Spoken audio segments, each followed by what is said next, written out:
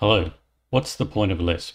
Recently on Hacker News, I saw this comment. I'm almost convinced people are pretending to like the Lisp syntax. I just don't get it, they said. Honest inquiry here. What is the appeal or benefit of the Lisp syntax? Is it just that some people have a subjective preference for it? I thought this was a great question. So let's take a look at some of the language features that make Lisp useful. But first of all, let's answer the question, what is Lisp? You might associate Lisp with strange bearded Unix gods, but the truth is, it's actually pretty simple to understand. In the same way that languages like C, JavaScript, and Java look kind of the same with those curly braces, Lisp-based languages all share a similar syntax. At its core, Lisp is a change in syntax. Take a function call which looks like this in most languages. Print 42. In Lisp, it looks like this.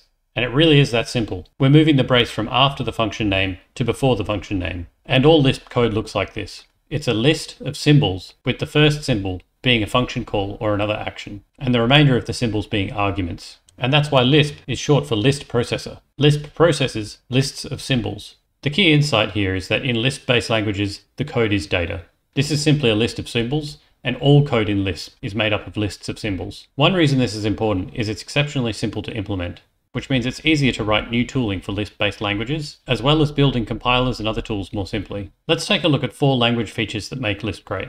The first one is faster editing. Because Lisp syntax is simple and consistent, it makes it easy to parse in your editor. That means editor plugins can make editing and refactoring code much faster. With a single keystroke, you can do things like popping bits of code in or out of scope, deleting logical blocks of code, etc., and refactoring functions. For example, it's faster and less error prone to grab a section of code inside a function and break it out into a separate function. If your Lisp is functional, which many are, this is even smoother. You never really have to think about syntax. In a language like Python or JavaScript, you have different syntax for different operations and expressions, and these languages introduce new syntax relatively frequently. By contrast, in a Lisp-based language, the syntax for setting a variable looks the same as the syntax for looping, and for calling a function, and for everything else. For example, in many languages, this is valid syntax for assigning a value to a variable. How does it look in a Lisp? You'll notice the consistency with our earlier function call. Instead of print here, we have def for define. So we're saying define q as 42. Once again, we have our doing word in the first position, and then the remaining symbols are arguments. This looks just the same as our print function call earlier. This consistency of syntax means less cognitive overhead and makes it easier to reason about code.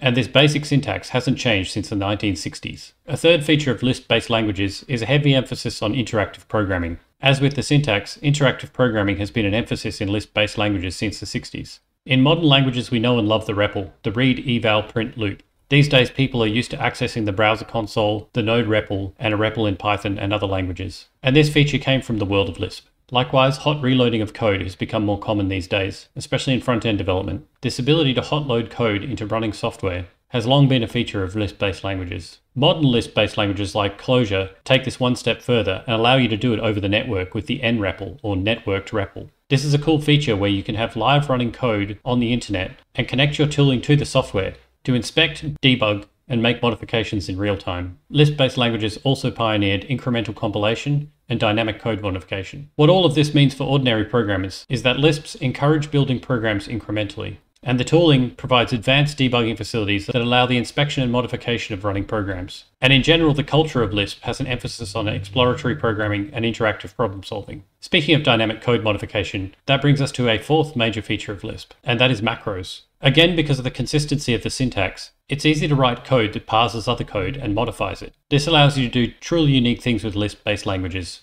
and so it's much easier to write domain-specific languages within a Lisp. Metaprogramming also gives you the ability to add new features to the language without changing the actual core language itself. Some common targets and new language features from Lisp macros are things like special control flow, async handling, and creating new types of function definitions for special classes of functions. Metaprogramming is not something I personally use a lot on a day-to-day basis, but I'm glad that very smart people are able to modify the language in a way that I can just import into my code without having to rely on upstream changes from the core developers. Now finally, let's talk about some trade-offs in Lisp-based languages. The first one is setting up the tooling is sometimes more involved. To get full use out of a Lisp, you need to install an editor plugin that understands syntax. And other plugins are available for connecting to NREPLs and dynamically modifying code and other debugging features. The second trade-off is that the syntax is for many programmers quite alien and takes some getting used to. The third trade-off is that many modern Lisps such as Clojure run on top of other runtimes, so the interop can add an extra layer between your code and the underlying engine. A fourth trade-off is that Lisps sometimes have a smaller community than other programming languages, especially popular ones like Python and JavaScript.